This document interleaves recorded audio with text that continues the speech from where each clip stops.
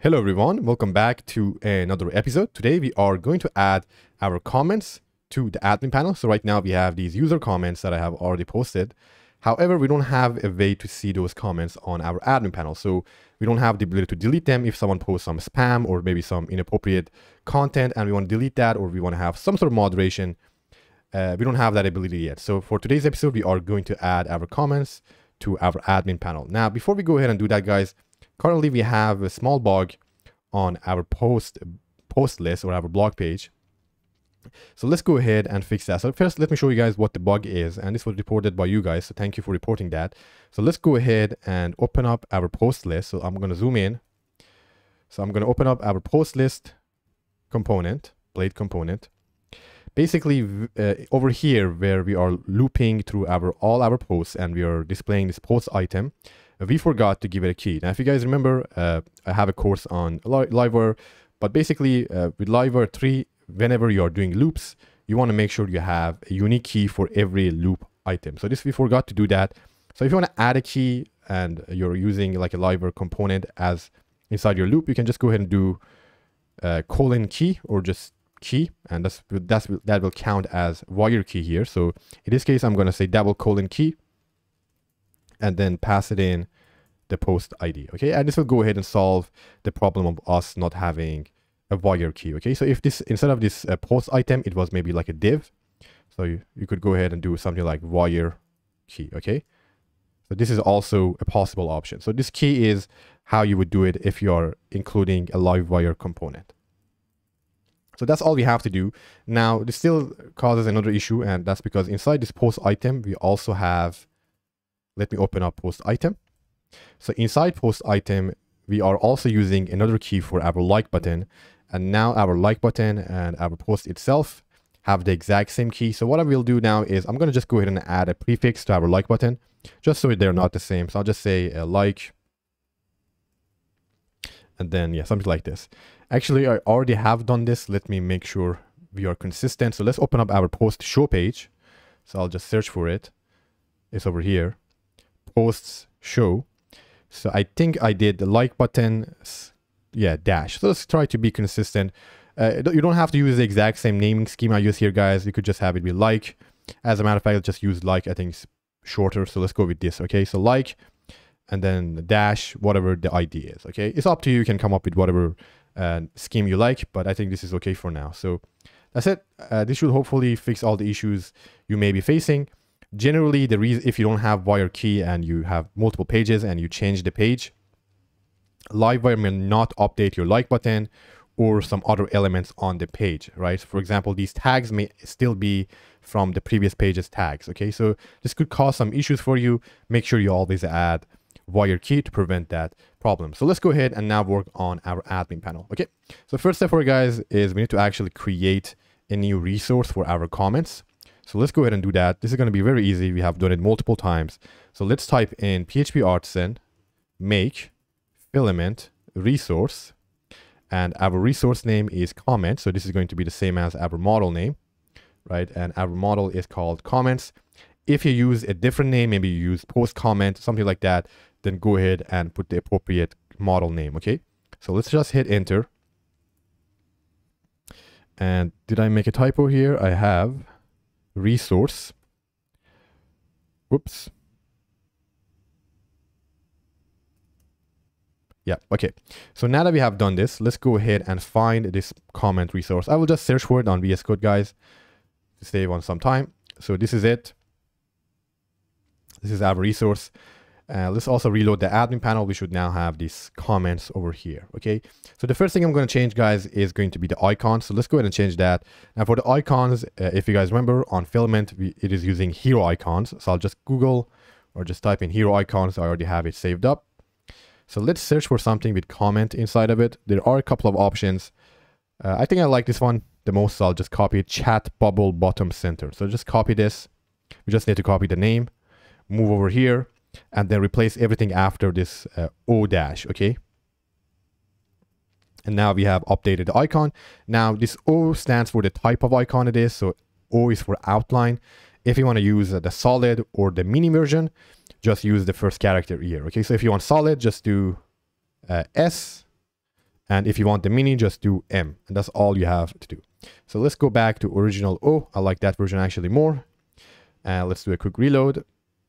And as you can see, guys, the icon has changed to a nice looking comments. All right, so for our form, uh, let me open up our comments migration so we can see what kind of fields we have. So we only have three kind of uh, columns. We have a user ID, we have a post ID, and then we have the comment, okay, the comment itself. So this should be relatively easy to do. So for our user and post, I'm going to use a select. So let's go ahead and do that. I'm going to do a select. Now guys, for this one, I'm using VS Code auto import, but uh, this is the import if you guys want to manually add that. Okay, so over here. So I'm going to say select, make. Now inside here, we need to pass it in our column name, right? Now I'm using foreign ID 4. It's basically going to be user ID, okay? So it uses the model name, the singular followed by ID, okay? So I'm just going to pass it in user ID. And since we already have a relationship set up, we can just go ahead and say a relationship user name. Now, in order for this to work, guys, you do need to make sure you have uh, defined the relationship on your comment model. So let me open up the comment model over here. So we, we have already done that on the previous episode, so I'm not going to be doing it. You should already have it as well. But I did want to mention this in case you didn't add it. Okay, so since we already have that, I just pass in user and then I want to use the name to show on the dropdown. I will also go ahead and add searchable to it. Okay, as well as make it also run preload. Preload just adds some default values by the, uh, in the form. If you don't add that, it's going to be empty unless you search for something. So I think it's nice to have the preload. And now that we have this, let's also make it required as well. So let's do that. Okay. So I'll just copy this and I duplicate the exact same thing for post ID as well. So let's do that real quick. It's just going to be post ID and then this relationship is going to be post.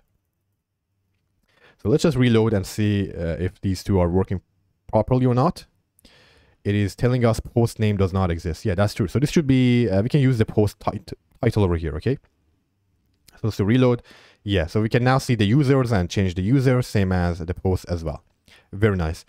And then last but not least, we need to set up the comment itself. For this one, I'll just use a simple uh, text input. So let's do that. Let's do text input, make uh, comment, and then let's also make this required. And I'll, I will also make it have a min length of one. And let's also give it a max length of 255, okay? All right, that's all we have to do for now. And for the text input, guys, this is the import. If you have issues importing it, just add this at the top. Okay, so let's go back. Let's do a quick reload. Uh, I'll just type something in, make sure it works. It does indeed work. Now we need to set up the table. So let's go ahead and set up the table. The table is going to be exactly identical to the form. So I'll just basically mirror it. Okay, so for this one, I'm just going to use a text column. Okay, so let's do text column. Now, if you want to use or display information from a relationship, just type in the relationship name you have defined on your model, which is post, and then use a dot to access some column on that model, on that relationship. So in this case, I can say post uh, title, okay? And then uh, same thing for the user, I can say user dot name. And this will get that comments user and then display their name, right? So let's go back and do a quick reload. Now we get test user as well as Laravel tutorial, whatever the post, you know, name was. And then let's do another one for the comment itself as well. And I think I will also add the ID. Uh, this is optional. You don't have to add it. I'll just add it here. I think it's nice to have. All right. So now our uh, individual table form and uh, table itself is done. The next step for you guys is we need to go ahead and add the comments under the post itself. Okay, so what I would like to see is if I click on this specific, for example, post, I want to be able to see all the comments at the bottom. Okay, so that's what I would like to have. So let's go ahead and also set that up. Now, I do have a separate video on relationships on Filament on my YouTube channel. If you guys are interested, you can go check that out. But I will walk you guys throughout the process for setting that up today as well. So let's go ahead and do that. Now for this one, uh, what we need to do is we need to create what is known as a relationship manager, okay? So what it does, it just gives you a nice UI for viewing and managing relationships for a model. So the first step is we need to create the relationship manager. So let's open up the terminal, type in PHP artisan make relation manager. And I think we need to do filament relation manager. And then after that, you can just hit enter and it will give you uh, kind of a automatic form where it tells you what arguments you need to pass in, okay? So what is the resource you would like to create this in? So this is basically where you want to show this relation manager. So in this case, we are showing it on our post resource, okay? So I just type in post resource, hit enter. Next up, what is the relationship? So uh, this is going to be what is the relationship on the resource itself, right? So because I put post resource, I need to look at our post model. All right, let me close all these other tabs.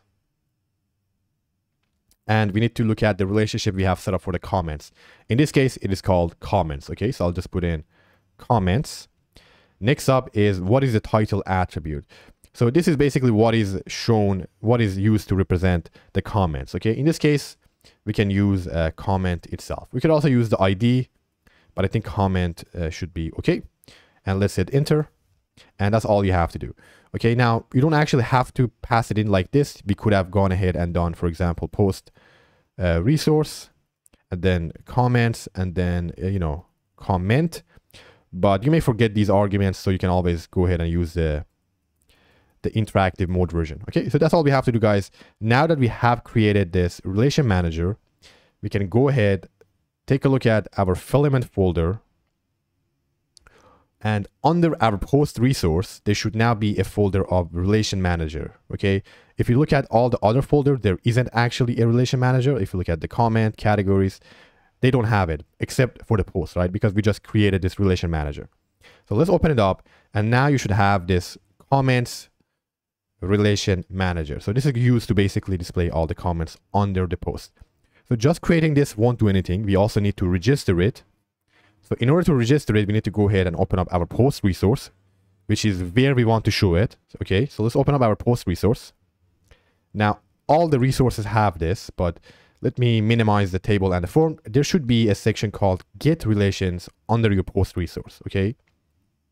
And over here, we can go ahead and add our relationship manager here. Okay, in this case, I'm going to say uh, comments relation manager class. Okay, that's all we have to do. So this will go ahead and relation, uh, register this relationship manager under our post resource. So if I go back and I do a quick reload now, and I scroll all the way down, we now have this nice looking table and it is actually showing all the comments just like this. Okay. So this is basically what the relationship manager does or relation manager. It gave us this nice looking setup over here for us. So now that we have this guys, uh, the table by default, it is showing the comment, which is what we passed for the title. However, when we click on edit, it, it is missing the user and the post. And also, uh, you know, we, we are not able to see the author or the user ID as well as the post itself, okay? So in order to set those things up, we need to actually go ahead and do those inside the comments relation manager. So if you look at the comments relation manager, it has a form section as well as a table section. So it's somewhat similar to the resource files itself, okay? So it already has the comment. Uh, now we don't need to pass in the post because we are already showing it under a specific post. So Filament is smart enough and it knows it belongs to, for example, this Laravel tutorial. So we don't need to go ahead and pass in uh, the post itself, but we do need to pass in the user. So let's go ahead and do that. Now for this one, we can copy it from our comment resource, so we don't have to just, you know, keep uh, typing it again. So I'm just going to go ahead and copy this user select from our comment resource and move it into comment relation manager. So these are two, two separate files and I do need to import select as well. So it is going to be a filament forms component select over here. All right, and that's all we have to do. Now we could have technically done it this way as well. So if you guys are not happy with this, it is a bit inconsistent. Uh, you can go ahead and fix all of these and follow the exact same format. Either import it all the time or just have the entire namespace here, okay? Now for sake of time, I'm not going to be doing it throughout the video, but you know, it is something you can do if you guys would like. So let's go back. Let's do reload. I'm going to click on edit. And now we should be able to see the user over here, okay? And if we click on create or new comment, again, we also have the user over here. Now we don't need the post ID. Again, uh, Filament will automatically added under this Laravel tutorial post, okay? So it's smart enough to do that for us. And then for the table itself, uh, we can go ahead and do user dot name. Now, if you guys would like, you can also go ahead and put the post itself. I think it's a little bit obvious that this belongs to this Laravel tutorial, so I'm not going to add the post itself, but you can definitely go ahead and do that if that is something you need for your own application. All right, and then last but not least, we can also go ahead and customize the buttons over here. So if you want to add, remove, or you know change these buttons, you can go ahead and set it up over these actions. I think I like the default version.